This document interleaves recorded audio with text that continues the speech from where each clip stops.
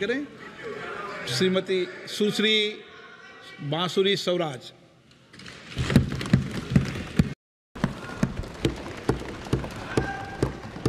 आदरणीय अध्यक्ष जी, मैं माननीय अनुराग ठाकुर जी द्वारा प्रस्तुत राष्ट्रपति अभिभाषण पर धन्यवाद प्रस्ताव का समर्थन करने के लिए आपके समक्ष उपस्थित हुई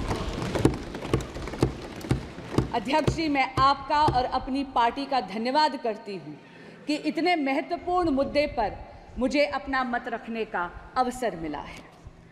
अध्यक्ष जी, ये राष्ट्रपति अभिभाषण ऐतिहासिक है। इसमें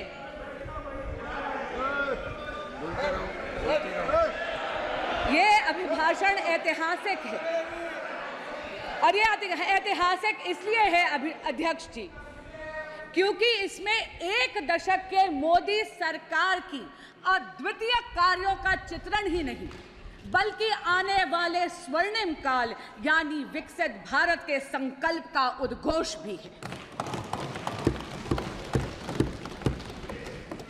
मोदी जी की जन कल्याणकारी योजनाओं का असर और उनके विकसित भारत के विजन के जो जनता का अगाध विश्वास था, उसी के कारण से अध्यक्ष जी, एनडीए को तीसरी बार जनता ने पूर्ण बहुमत का जनादेश दिया।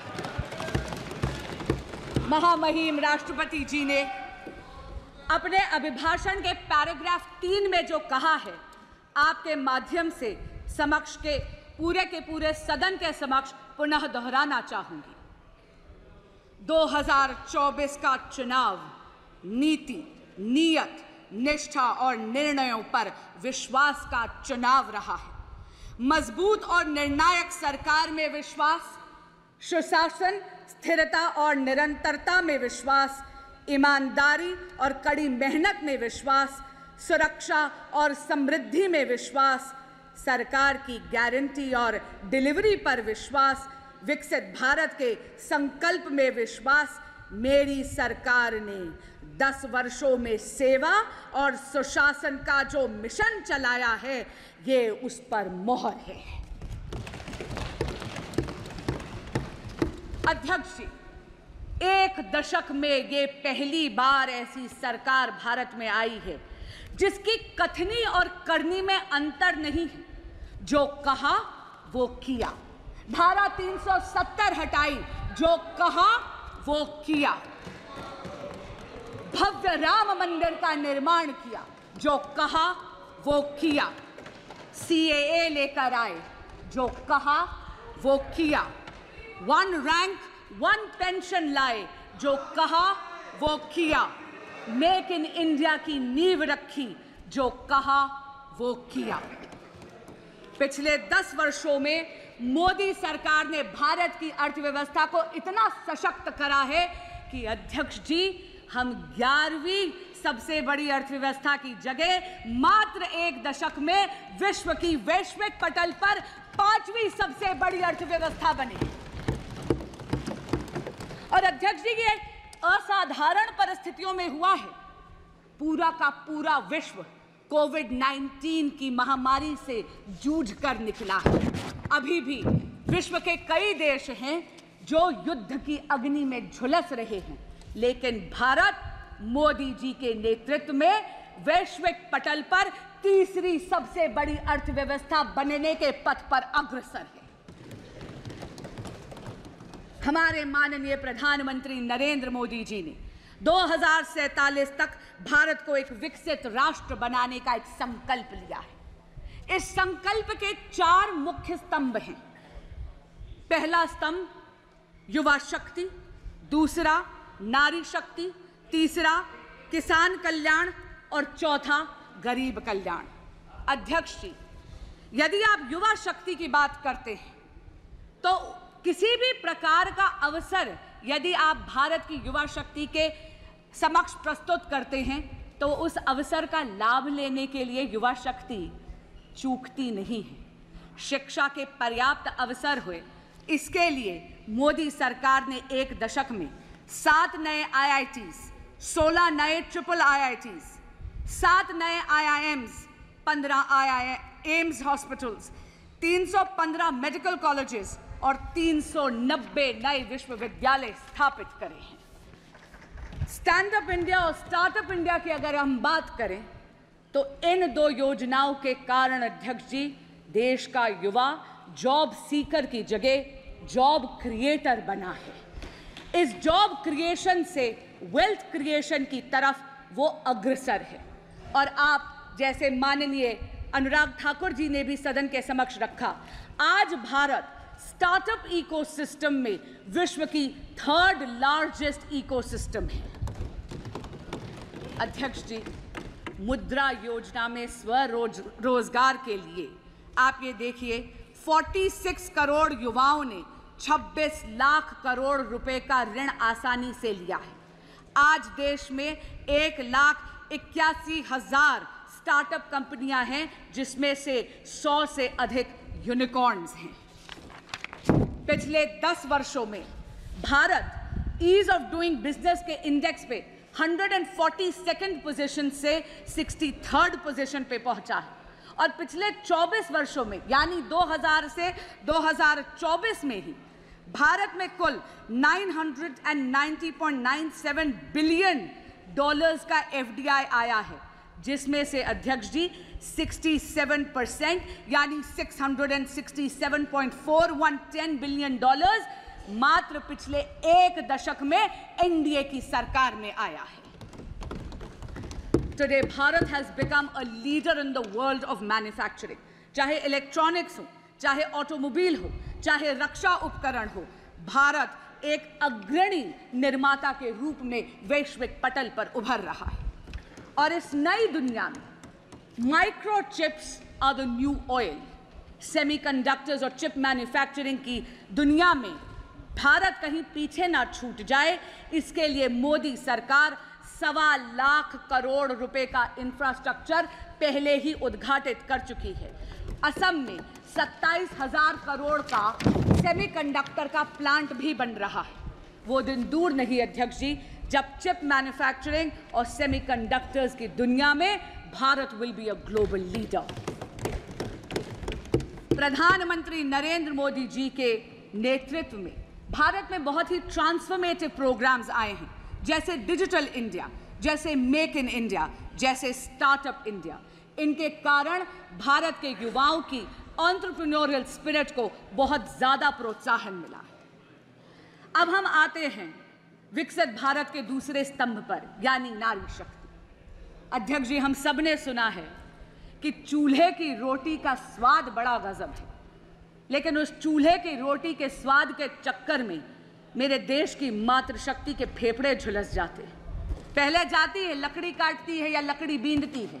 गठरी सर पर लेकर आती है 20 से 25 मिनट लगते हैं चूल्हा सुलगाने में। लेकिन नरेंद्र मोदी जी ने 10 करोड़ से ज़्यादा उज्ज्वला गैस कनेक्शन देके मातृशक्ति को धुएँ की ज़िंदगी से निजात दी। हमारे देश में हमारे देश में बचत की आदत हमारे देश में एक एक को मातृशक्ति ने सिखाई। आप सबको याद होगा, वो नानी जो रामायण के पन्नों में पैसे छुपाती, वो दादी जो चीनी के जार में पैसे छुपाती है। अरे उन चोरी के पैसों से कुल्फी फलूदा खाने की मिठास ही अलग है। लेकिन कितनी अचंभे की बात है अध्यक्ष जी, जिस मातृशक्ति ने देश को बचत सिखाई उनके पास बैंक अकाउंट ही नहीं थे। नरेंद्र मोदी जी प्रधानमंत्री जनधन योजना के तहत देश की मातृशक्ति को फॉर्मल बैंकिंग सेक्टर का उन्होंने उसे हिस्सा बनाया अध्यक्ष जी 50 करोड़ से अधिक बैंक के खाते खुले प्रधानमंत्री जनधन योजना में, जिसमें से 56 परसेंट महिलाओं के खाते थे। हमारे यशस्वी प्रधानमंत्री नरेंद्र मोदी जी ने ये भी सुनिश्चित करा कि महिलाओं के स्वरोजगार के लिए उनके पास आर्थिक सपोर्ट, यानी फाइनेंशियल सपोर्ट की उपलब्धता हो। प्रधानमंत्री मुद्रा योजना के तहत कुल ऋण जो सैंक्शन हुए हैं, उसमें से 69 परसेंट महिलाओं के लिए सैंक्शन हुए। इसी तरह स्टैंड अप इंडिया के तहत अध्यक्ष जी 84 परसेंट ऋण महिलाओं के लिए सैंक्शन हुए एनडीए सरकार ने एक करोड़ लखपति दीदी का जो टारगेट रखा था सेल्फ हेल्प ग्रुप मूवमेंट के माध्यम से, वो तो पहले ही लक्ष्य प्राप्ति हो गई है। इसलिए मोदी सरकार ने अब ये लक्ष्य बढ़ाकर तीन करोड़ महिलाओं को लखपति दीदी बनाने का रखा। अध्यक्ष जी महिलाओं को सशक्त बनाने के उद्देश्य से प्रधानमंत्री जी लाए हैं नमो ड्रोन दीदी। मेरे देश की बहन बेटियाँ, अब ड्रोन पायलट बनेंगी। न केवल इससे कृषि कार्य में आधुनिक तकनीक का इस्तेमाल होगा, लेकिन आप ये देखिए समाज की सोच में भी अंतर पड़ेगा। It is going to not only leverage technology for modernisation of agrarian economy of India but also will ensure a tectonic shift in the psychology of the society Namo drone Didi विकसित भारत के दो पहलुओं को छूती है। कृषि कल्याण और महिला शक्ति।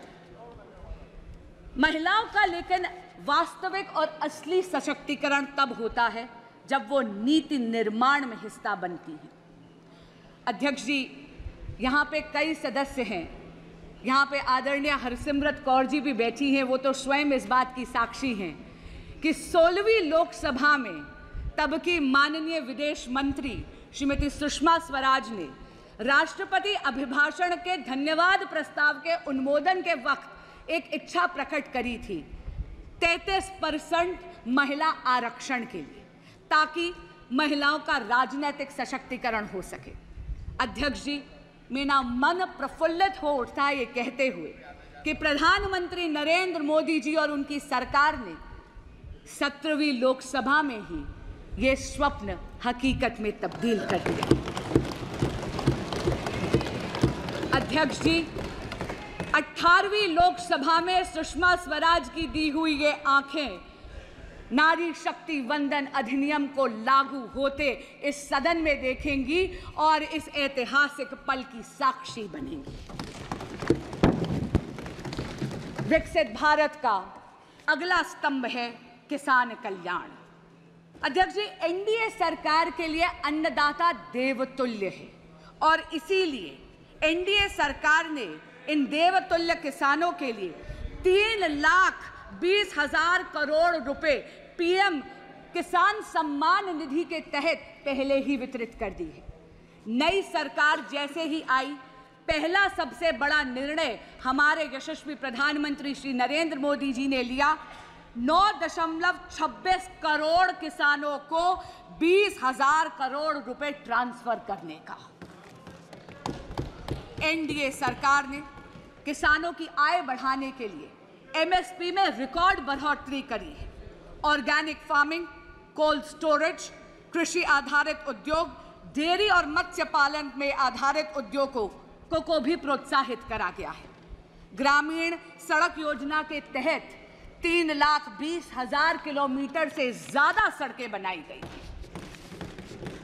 विकसित भारत का चौथा और सबसे महत्वपूर्ण स्तंभ है गरीब कल्याण। अध्यक्ष जी, प्रधानमंत्री गरीब कल्याण योजना विश्व में सबसे बड़ी सामाजिक कल्याण योजना साबित हुई है। इसमें इक्यासी करोड़ से ज़्यादा लोगों को मुफ़्त खाद्यान्न की सामग्री, यानी मुफ़्त राशन देकर मोदी जी ने खाद्य और पोषण की सुरक्षा सुनिश्चित करी है। जब हम देश की अर्थव्यवस्था की गाथा गाते हैं तो वो रेड़ी पटरी वालों के बिना अधूरी है। नरेंद्र मोदी जी ने पीएम स्वनिधि के तहत 70 लाख से ज़्यादा रेड़ी पटरी वाले, यानी स्ट्रीट वेंडर्स को ग्यारह हज़ार करोड़ का ऋण बिना गारंटी के मुहैया करवाया है।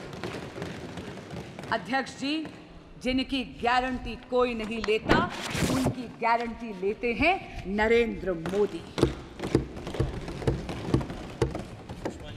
हर व्यक्ति का एक स्वप्न होता है कि अपनी पक्की एक छत हो। पीएम आवास योजना के तहत एनडीए की सरकार ने इस खाब को हकीकत में बदला है।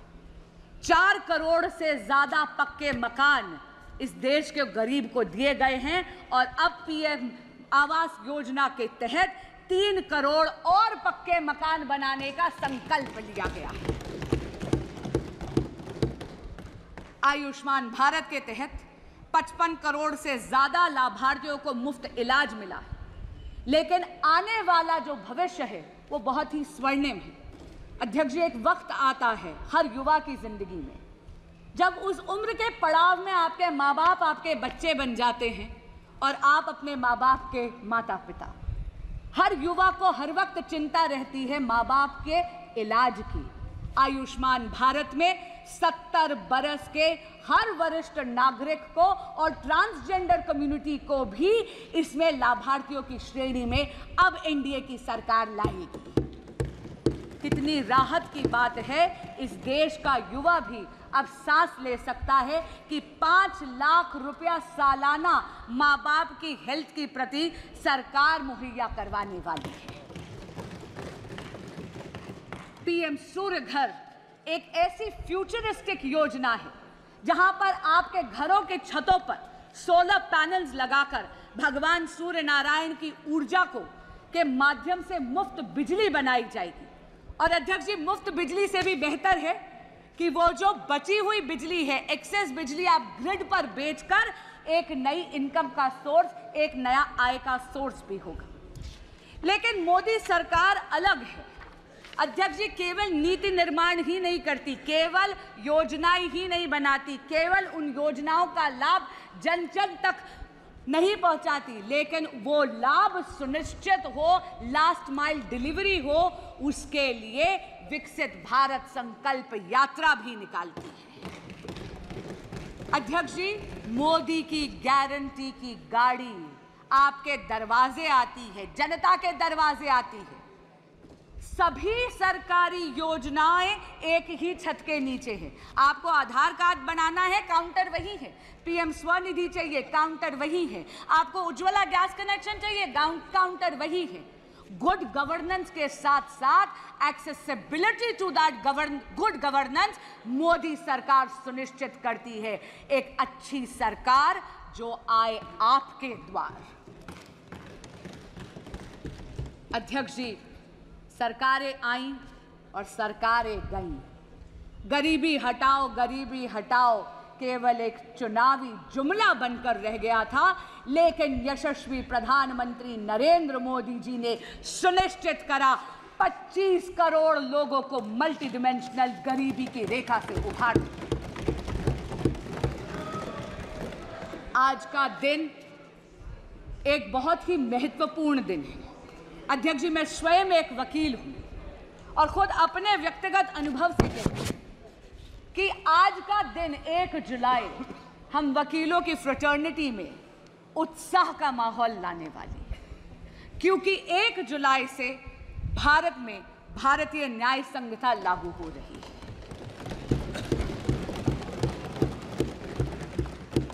पहले के कानून ब्रिटिश राज की गुलामी की बेड़ियाँ थे जो हमारी न्याय प्रणाली को जकड़े हुए थे। पहली बार भारत में एक ऐसी दंड प्रणाली आ रही है जिसका ध्येय न्याय होगा। क्यों क्योंकि अध्यक्ष जी, जब कोई ऐसा कानून विलायती हुकूमत बनाती है तो उसका उद्देश्य न्याय नहीं होता, उसका उद्देश्य दमन होता है। क्योंकि वो चाहती है कि उसके हुकूमत बरकरार रहे। लेकिन पहली बार देश में भारतीय दंड प्रणाली आएगी, जिसका ध्येय न्याय होगा। न्याय को प्राथमिकता देगी और हमारे यहाँ कहते हैं justice delayed is justice denied ये वो क्रिमिनल सिस्टम होगा लॉज का, जो एक एक्सपीडियंसी लाएगी, एक तेज़ी लाएगी भारत के क्रिमिनल जस्टिस सिस्टम में। कम्युनिटी पेनल्टी पहली बार भारत में इंट्रोड्यूस हो रही है। इसका मतलब है At the heart of these laws is not only deterrence of law and punishment, but also a sense of reformation. सभी ट्रांसफॉर्मेटिव फ्यूचरिस्टिक पाथ ब्रेकिंग कारणों के कारण ही भारत ने एनडीए की सरकार को तीसरी पूरा बहुमत दिया है पर अध्यक्ष जी विपक्षी गठबंधन ऐसा प्रदर्शित करता है जैसे कि नारायणी सेना इनके पाले में खड़ी है पर अध्यक्ष जी, इतना ज़रूर कहूँगी। कृष्ण तो कर्म के कायल हैं, इसलिए उनका आशीर्वाद तो नरेंद्र मोदी जैसे कर्मयोगी पर पुनः बरसा है विपक्ष चाहे ये दिखाने का प्रयास करे कि स्वयं अक्षोहिणी सेना उनके पास है। अध्यक्ष जी, बहुत चौंकाने वाली बात है कि वो विपक्ष जिसने आपातकाल लगाने का अधर्म करा वो विपक्ष जिसने भारत के संविधान को गला घोटने का अधर्म करा, जिसने इस देश के लोकतंत्र की हत्या करने का अधर्म करा, वो विपक्ष जिसके गठबंधन के सदस्य आज भी दिल्ली में एक कॉन्स्टिट्यूशनल क्राइसिस क्रिएट करते हैं, क्योंकि वो अपनी जिद पे अड़े हुए हैं कि वो अपनी सरकार जेल से चलाएँगे। क्यों? क्योंकि वो सत्ता के मुँह में मदमस्त हैं और दिल्ली उनके इस मोह से त्रस्त है। अध्यक्ष जी, बड़ी अजीब बात है। दिल्ली आज पानी के लिए तरस रही थी। एक बारिश हो गई तो पानी से त्रस्त हो गई। लेकिन ऐसा लगता है कि विपक्षी गठबंधन में या आम आदमी पार्टी में एक आपातकाल और एक अकाल पड़ा हुआ है कॉम्पिटेंस का और टैलेंट का। और इसीलिए माननीय मुख्यमंत्री अरविंद केजरीवाल जी मुख्यमंत्री की सीट को जकड़ कर बैठे हैं। मैं पूछना चाहती हूँ, ऐसा विपक्ष जो पॉलिसी पैरालिसिस का अधर्म करता है, जो लैक ऑफ़ गवर्नेंस का अधर्म करता है वो धर्म की बात कर कर इस सदन में कैसे आड़े आ सकता है जब ये सदन इमरजेंसी की रेजोल्यूशन पास करना चाहता है इमरजेंसी का खंडन करते हुए। अध्यक्ष जी, मुझे एक प्रसंग याद आता है। महाभारत में युधिष्ठिर को जब अकर्मण्यता ग्रसित कर गई तो वो पितामह भीष्म के पास गए। पितामह भीष्म ने युधिष्ठिर जी को सुशासन के कई सूत्र दिए। लेकिन एक मूल मंत्र भी दिया। और वो मूल मंत्र था, यतो धर्मस्य ततः कृष्णो, यतः कृष्णस्य ततो धर्म। जहाँ धर्म है, वहाँ कृष्ण है, जहाँ कृष्ण है, वहाँ विजय है। अध्यक्ष जी, धर्म तो नरेंद्र मोदी जी के ही पाले में खड़ा है। लोकतंत्र में मतदाता देवतुल्य होता है। छह दशक में तीसरी बार लोकतंत्र में भारत के देवतुल्य मतदाता ने विजय श्री का आशीर्वाद एनडीए की सरकार को नरेंद्र मोदी जी के नेतृत्व में दिया कुछ दिन पहले मैंने टीवी पे देखा, विपक्ष के एक बहुत ही बड़े नेता मीडिया के बंधुओं से अयोध्या धाम से जीते हुए अपने जनप्रतिनिधि का परिचय करवा रहे थे। और उन्होंने कहा, ये हैं अयोध्या के राजा। अध्यक्ष जी, ये विपक्ष की राजसी मानसिकता को परिलक्षित करता है। अध्यक्ष जी, हम तो सत्ता पक्ष में होकर भी सेवा परमो धर्मो वाले, राष्ट्र सर्वोपरि वाले हैं। हम तो हमारे तो यशस्वी प्रधानमंत्री भी अपने आप को देश का प्रधान सेवक कहते हैं। अध्यक्ष जी हमारे तो राजा राम हैं। धर्म हमारा काम है। जपते तो हम माँ भारती का नाम है। इसीलिए तो नरेंद्र मोदी के सामने फेल बाकी सारे तमाम हैं। रिफॉर्म परफॉर्म और ट्रांसफॉर्म के वर्क एथिक के साथ, सबका साथ सबका विकास, सबका विश्वास और सबका प्रयास। इस मूल मंत्र को आत्मसात करते हुए विकसित भारत के संकल्प को सिद्धि तक लेकर जाएगी एनडीए की यह सरकार। मुझे ये पूर्ण विश्वास है। लेकिन मैं साथ में ये आशा भी करती हूँ कि ये सदन एकजुट होकर उस संकल्प को सिद्धि तक ले जाने में मदद अवश्य करेगा। अध्यक्ष जी आपने मुझे समय दिया और अपनी बात कहने का अवसर दिया। आपका बहुत बहुत धन्यवाद। मैं पुनः इस धन्यवाद प्रस्ताव का अनुमोदन करती हूँ।